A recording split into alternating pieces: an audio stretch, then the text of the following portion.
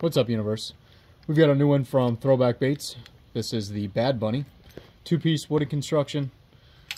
A little topwater waking and walking bait. Similar to a rat, but uh, missing the uh, tail of one. And instead a little fluff ball. Anyway, let's see how she swims. So we'll start with our standard straight retrieve. It's is straight up blind. Oh, about a medium speed. And once it gets going, you get that really exaggerated back and forth action with the tail, kicking around back and forth, and plenty of noise, kind of that cue ball sounding uh, effect that you get from the wood.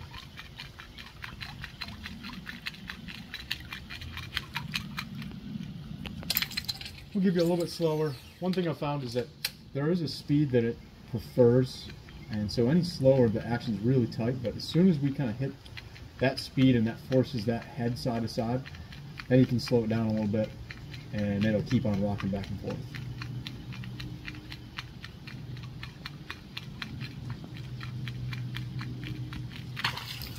Conversely, what we can do is speed it up.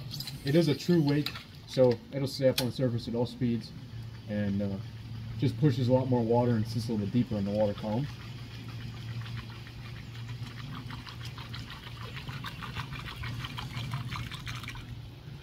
And last we'll do some walking.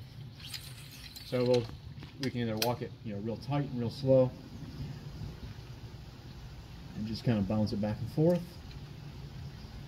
And certainly with this guy, a little bit more of the finesse pulls are a little better. It'll actually overturn because it doesn't have a tail back there to uh, slow it down. And as well, a little more speed and a little more input we'll get it going back and forth, those nice easy 180s.